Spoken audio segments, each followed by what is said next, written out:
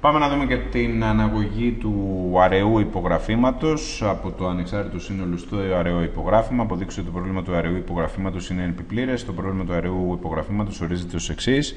Δοθέντος ενός γραφήματος G και δύο ακεραίων α και β με δύο μικρότερο ή ίσο του α μικρότερο του πληθάριθμου των κορυφών και 0 μικρότερο του β μικρότερο ίσο του πληθάριθμου των ακμών αυτή τη φορά. Να, η ερώτηση η οποία τίθεται είναι αν υπάρχει υπογράφημα ένα μέρος λοιπόν του αρχικού γραφήματος, τζιτόνος, βιτόνος, εψιλοντόνος, με την ιδιότητα ότι ο πληθάριθμος των κορυφών του β είναι τουλάχιστον α και ο πληθάριθμος των κορυφών των ακμών είναι το πολύ β.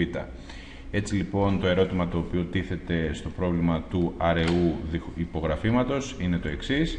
Είναι να μου δίνεται ένας γράφος και δύο ακέραιοι. Και η ερώτηση που τίθεται είναι το εξής να εντοπίσω το πολύ α κορυφές, όχι αστοχία, τουλάχιστον α κορυφές, με την ιδιότητα ότι εδώ μέσα, ακμές δηλαδή που συνδέουν αυτές τις κορυφές, είναι το πολύ β. Συνεπώς ψάχνουμε για ένα αραιό κομμάτι στο γράφημα α κορυφών. Αυτό είναι το ερώτημα το οποίο τίθεται λοιπόν. Μοιάζει λίγο με το ανεξάρτητο υποσύνολο, που στο ανεξάρτητο υποσύνολο ψάχνω για κ κορυφές, με την ιδιότητα ότι οι κορυφές αυτές δεν συνδέονται με καμία ακμή. Οπότε, έχοντας την εικόνα του μυαλού, στο μυαλό μας για το γνωστό και το άγνωστο πρόβλημα, μπορούμε να δουλέψουμε το κομμάτι της αναγωγής. Εδώ είναι ο μπούσουλας του υπολογίου για μια απόδειξη θεωρίας γράφων. Το πρώτο κομμάτι λοιπόν είναι ότι θα δείξουμε ότι το αραιό υπογράφημα ανήκει στην κλάση NP. Είναι η μία από τις δύο αποδείξεις που πρέπει να κάνουμε προκειμένου να αποδείξουμε ότι το πρόβλημα είναι NP πλήρες. Οπότε λοιπόν ξεκινάμε με το πρόβλημα το οποίο έχουμε να μελετήσουμε, το οποίο είναι το αραιό υπογράφημα. Εδώ πρέπει να διαχωρίσεις δύο πράγματα. Ποια είναι η είσοδος και ποιο είναι το ερώτημα. Η είσοδος λοιπόν είναι ένας γράφος G και δύο ακέραιοι α και β. Το ερώτημα το οποίο τίθεται είναι συγκεκριμένο. Είναι αν υπάρχει ένα υπογράφημα G του G με την ιδιότητα την οποία αναφέρει η εκφώνηση. Δηλαδή ότι το πληθάριθμο των κορυφών του είναι τουλάχιστον α και ο πληθάριθμος των ακμών του είναι το πολύ β.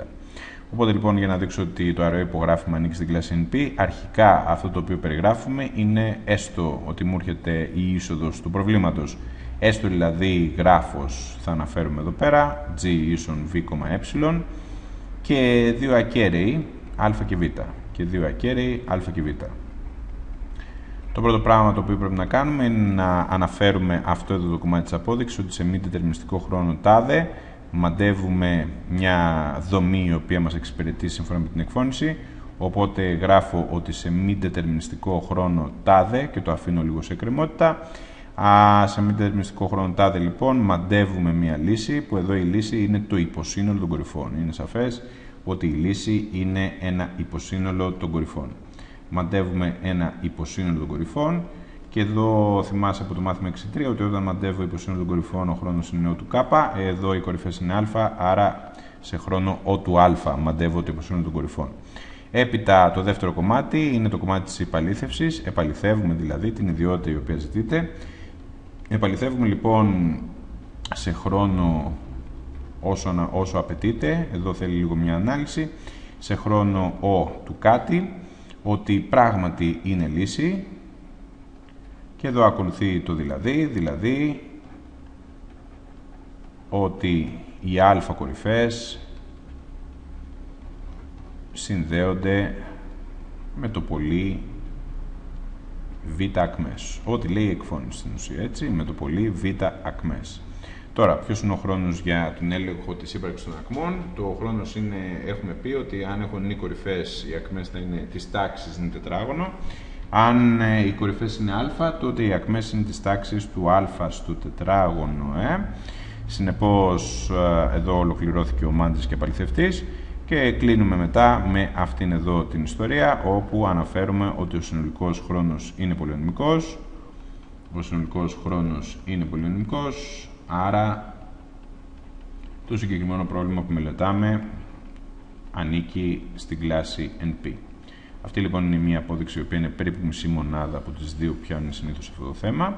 Ενώ όσον αφορά το δεύτερο ερώτημα, στο δεύτερο ερώτημα πρέπει να δώσουμε την αναγωγή εδώ από το independent set στο αραιό υπογράφημα και εδώ βοηθάει πάρα πολύ βέβαια το σχήμα. Το αραιό, το αραιό υπογράφημα, το independent set θεωρείται γνωστό πρόβλημα παρεκτόντως. Ε; Δείχνουμε λοιπόν το independent set ανάγεται στο αραιό υπογράφημα.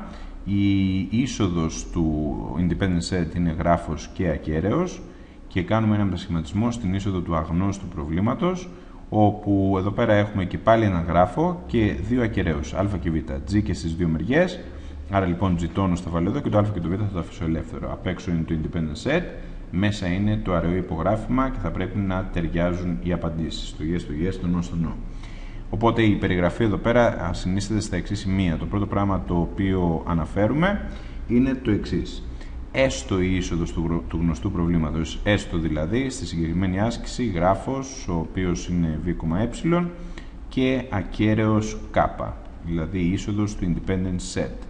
Κατασκευάζω, τώρα αναφέρω, γιατί είναι δική μου δουλειά να το φτιάξω, Κατασκευάζω λοιπόν γράφω G τόνος ίσον V τόνος ε τόνος, άλλο γράφημα και επιλέγω και επιλέγω ακέραιους α και β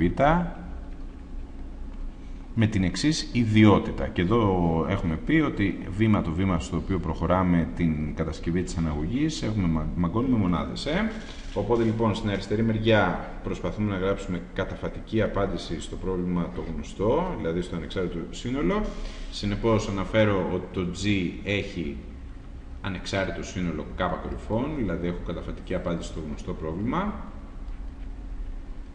Αν και μόνο αν έχω καταφατική απάντηση και στο άγνωστο πρόβλημα, δηλαδή για το γράφημα G τόνος, υπάρχει υποσύνολο, σύμφωνα με το ερώτημα. Ε. Υπάρχει λοιπόν υποσύνολο των κορυφών του G τόνος, αυτό που θα φτιάξω δηλαδή, τέτοιο ώστε οι κορυφές του να είναι τουλάχιστον α με την ιδιότητα, όπως αναφέρει η εκφώνηση, οι κορυφές του να είναι τουλάχιστον α και επίσης οι ακμές του να είναι το πολύ β. Οπότε λοιπόν, όπως βλέπεις εδώ, βρίσκεται α, στην ουσία μια κατάλληλη μετασκευή της εκφώνησης. Μετά, η αναγωγή είναι η εξής και εδώ βέβαια τα πράγματα θα δυσκολέψουν απότομα γιατί αν βγάλουμε και αυτό σωστά, στην ουσία έχουμε πάρει όλη την άσκηση. Η αναγωγή λοιπόν είναι η εξής. Θέτουμε το γράφημα G τόνος να είναι ίδιο με το αρχικό γράφημα του G Επίσης, ε, είναι και λογικό στο ανεξάρτητο υποσύνολο ψάχνω για κορυφές που δεν συνδέονται με καμία ακμή. Οπότε λοιπόν στο αραιό υπογράφημα ψάχνω για κορυφές που δεν συνδέονται με, που συνδέονται συγγνώμη, με το πολύ β ακμές. Οπότε η αναγωγή είναι να κρατήσω τον ίδιο πληθάριθμο κορυφών. Θέτω λοιπόν το α να είναι ίσο με το κ και αμέσως μετά το β το θέτω να είναι ίσο με το 0. Άρα λοιπόν με αυτήν εδώ την συσκευή στην ουσία τα δύο ερωτήματα έχουν ταυτιστεί. Αντί να ρωτάω αν υπάρχουν κορυφές που δεν συνδέονται με ακμή, ρωτάω αν υπάρχουν κορυφές που συνδέονται με μηδέν ακμές. Άρα και η απόδειξη του ευθύ και του αντιστρόφου πλέον θα είναι τετριμένη. Ακολουθεί όμως η απόδειξη του ευθύ και του αντιστρόφου με βάση την αναγωγή. Ευθύ λοιπόν, ναι, ξεκινάμε και λέμε ότι αν ισχύει η αριστερή μεριά της ισοδυναμίας, δηλαδή αν ο G έχει ανεξάρτητο σύνολο k κορυφών,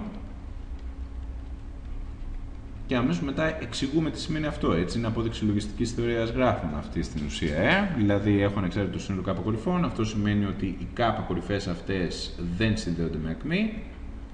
Κάπα κορυφές, λοιπόν, το γράφω έτσι λίγο τα bullets, ε; δεν συνδέονται με ακμή. Αυτό σημαίνει ότι κάπα κορυφές συνδέονται με μηδέν ακμές με μηδέν ακμές και αυτό με τη σειρά του σημαίνει ότι υπάρχει υποσύνολο των κορυφών του G, υποσύνολο των κορυφών του G τόνους, όπως βλέπεις πηγαίνω από αριστερά προς τα δεξιά στην ισοδυναμία. Κορυφών του G τόνους με την ιδιότητα ότι ο πληθάριθμος των κορυφών είναι τουλάχιστον K με βάση την αναγωγή και ο πληθάριθμος των ακμών είναι το πολύ 0 όπως απαιτεί η αναγωγή. Το αντίστροφο τώρα εντελώς συμμετρικό είναι ακριβώς τα ίδια πράγματα με την ανάποδη σειρά δηλαδή εδώ η αναγωγή είναι και σχετικά απλή στη δομή της, δηλαδή αν ισχύει το δεξί κομμάτι της οδυναμίας με βάση τον μετασχηματισμό, δηλαδή αν υπάρχει υποσύνολο των κορυφών του G τόνου στο οποίο κατασκευάσαμε, δηλαδή του G πρακτικά, υποσύνολο λοιπόν των κορυφών του G τόνους με την ιδιότητα την δοθήσα, δηλαδή έχει τουλάχιστον κάπα κορυφές και οι ακμές που τις συνδέουν είναι 0 πρακτικά, αυτό σημαίνει ότι οι κάπα κορυφές συνδέονται με μηδέν ακμές και αυτό με τη σειρά του σημαίνει ότι οι κάπα αυτές κορυφές δεν συνδέονται με ακμή. οι κάφα κορυφέ δεν συνδέονται με ακμήλα, δεν πηγαίνουμε πρακτικά στον ορισμό του συνόλου ανεξαρτησίας. Άρα το G περιέχει σύνολο ανεξαρτησίας K κορυφών. Το G έχει ανεξάρτητο σύνολο K κορυφών. Αυτά λοιπόν σχετικά είναι με αυτή την αναγωγή και αμέσως μετά με το πέρας της αναγωγής πρέπει να αναφέρουμε και αυτό εδώ ότι ο συνολικός χρόνος της αναγωγής είναι πολυονομικός.